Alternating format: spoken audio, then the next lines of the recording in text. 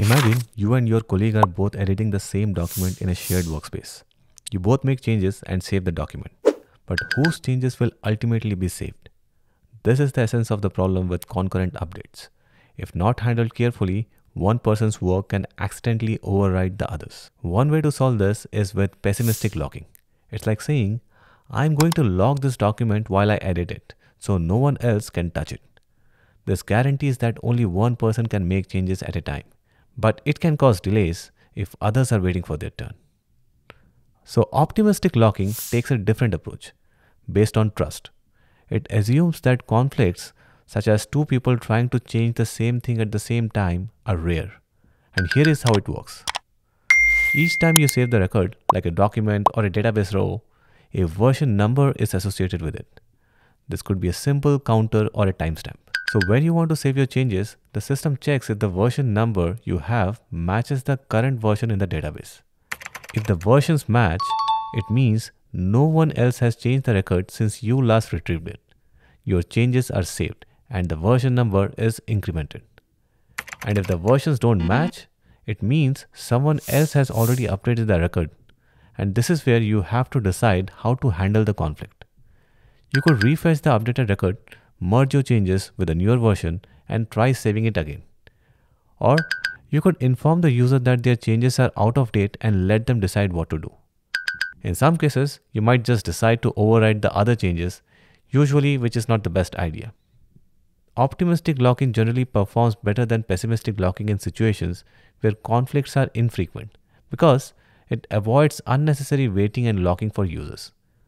Here is a simple sequence diagram illustrating the optimistic locking conflict scenario with person Alice and Bob. Here, both Alice and Bob read the same product from the database. They receive the same quantity, in this case 10, and version number 1. Bob then updates the quantity to 8. The database successfully updates the record and increments the version number to 2. Alice then attempts to update the quantity to 9 using the outdated version number 1. The database compares Alice's version 1 with the current version 2 and detects there is a conflict. The database then throws a optimistic lock exception back to Alice indicating that her update is based on stale data. This sequence diagram visually demonstrates how optimistic locking can detect and prevent conflicts when multiple users or processes try to modify the same data concurrently. Let's take a look of optimistic locking using Java JPA with SQL. JPA or Java Persistence API is a standard Java technology that simplifies how your Java application interacts with the database. It lets you work with Java objects directly instead of writing complex SQL queries and it handles the mapping between your objects and the database tables behind the scenes. Now JPA uses annotations like at entity, at ID, at table, and at column to map Java classes to database tables and their fields to columns, making it easier to work with data in your Java applications. Here, the add version annotation on the version field in the product entity is the key to optimistic locking.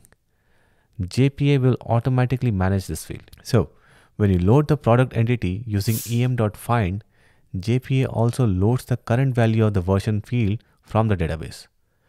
You modify the product, for example, you decrease the quantity, and then call em.getTransaction.commit. Behind the scenes, JPA includes the original version value in the SQL update statement. The database compares this value with the current version stored in the row. If the versions match, the update succeeds and JPA increments the version field in both the database and the entity object. If the versions don't match, it means another transaction has already updated the row and an optimistic lock exception is thrown. Now, when an optimistic lock exception is thrown, you have a few options on how to proceed. You retry and refresh the latest version of the entity from the database.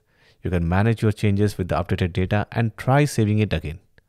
This is suitable when conflicts are expected to be rare and the cost of retrying is low.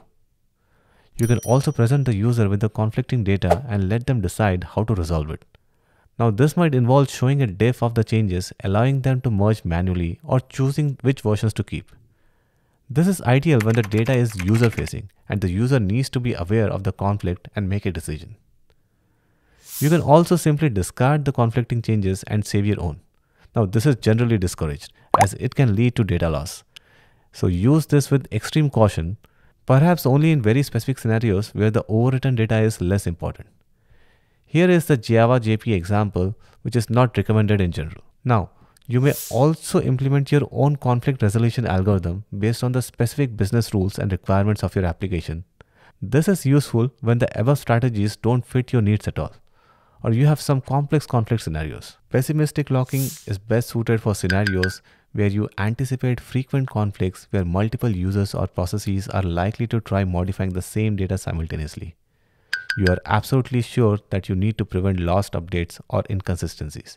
Even a small chance of data corruption is unacceptable. Pessimistic locks are held for the duration of the transaction, so they are less ideal for long running processes. Optimistic locking, on the other hand, is a good fit for scenarios where conflicts are expected to be rare. If many users are frequently editing the same record, pessimistic locking might be a better choice. Optimistic locking also generally allows for more concurrent access. You also need to strategize for merging changes or alerting users when a conflict do occur. So in a microservices architecture with high traffic, the choice between optimistic and pessimistic locking depends heavily on the specific use case and data access patterns. If you have critical sections of code where data consistency is absolutely essential and conflicts are common, pessimistic locking might be necessary. However, distributed pessimistic locking can be challenging to implement and may introduce performance bottlenecks. So if conflicts are relatively rare, optimistic locking can offer better performance and scalability. In fact, it is the default in JPA. You should be prepared to handle conflicts gracefully, potentially with retries or user notifications. And yes, consider using distributed locking mechanism like Redis or Zookeeper to manage optimistic locks across multiple microservices. And that is what we'll be covering in our next topic of discussion in System Design series.